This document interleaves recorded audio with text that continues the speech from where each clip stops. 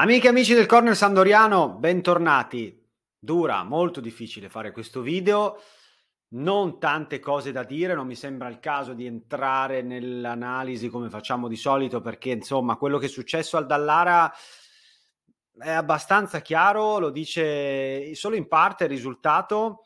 è stato un secondo tempo sconfortante, una figuraccia, l'ennesima che certifica, forse l'ennesima figuraccia no, però insomma non è la prima di questa stagione e di questa gestione tecnica con Marco Giampaolo.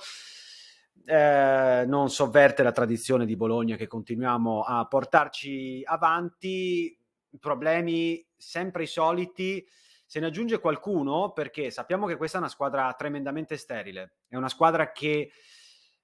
gli ultimi gol che ha segnato, ci stavo un po' ripensando, scorrendo con la memoria all'indietro, i due pesantissimi a Venezia sono arrivati su due mezzi regali della squadra di Zanetti.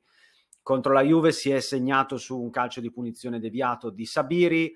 Per gli ultimi gol, diciamo un po' puliti, bisogna risalire gara, alle gare con l'Empoli e col Sassuolo. L'avevamo detto, gli unici casi in cui si sono trovate eh, squadre un po' più aperte, un po' più scoperte. Quando c'è da attaccare difese schierate questa squadra non ha soluzioni, questa squadra non crea,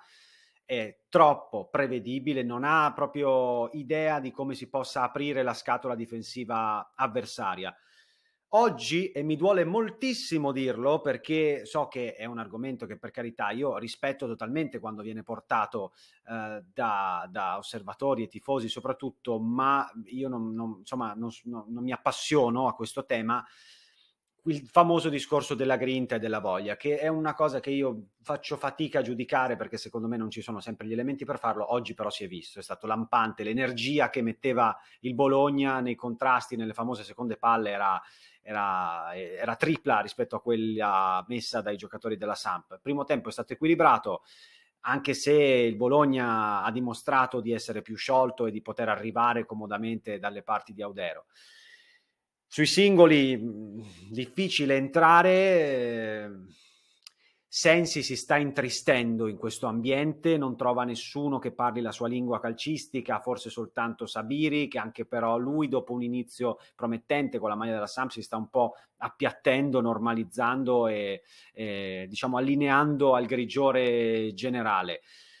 Ovviamente sono anche serate storte, anche se vietatissimo parlare di sfortuna o episodi perché poi il Bologna insomma, ha preso due traverse, poteva fare il terzo gol comodamente, poteva fare il secondo prima, quindi insomma non se ne parla, è una sconfitta strameritata, appunto anche stretta probabilmente nel punteggio per quello che si è visto soprattutto nel secondo tempo. Diciamo che l'emblema della Sampdoria di adesso è la prestazione di oggi di Ciccio Caputo che ha sbagliato tutto lo sbagliabile, eh, ha perso clamorosamente il duello con Sumauro, pur mettendoci l'impegno. Questo però non toglie che abbia sbagliato tutto lo sbagliabile, finendo spessissimo in fuorigioco e mangiandosi un'occasione pesante sullo 0-0 a tu per tu con Skorupski e non è la prima volta che gli capita. Caputo, quando arriva davanti al portiere spesso ci arriva un po' in affanno, non pulito e non calcia bene verso la porta e quindi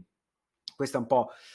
l'impressione a livello di episodi che potevano andare meglio. Ora io non ho capito perché non ho sentito bene il motivo della sostituzione di Ferrari, che era l'unico che salvavo in questa, in questa gara, è, è, stato tolto dopo un'oretta, è entrato Yoshida che insomma è stato coinvolto in senso negativo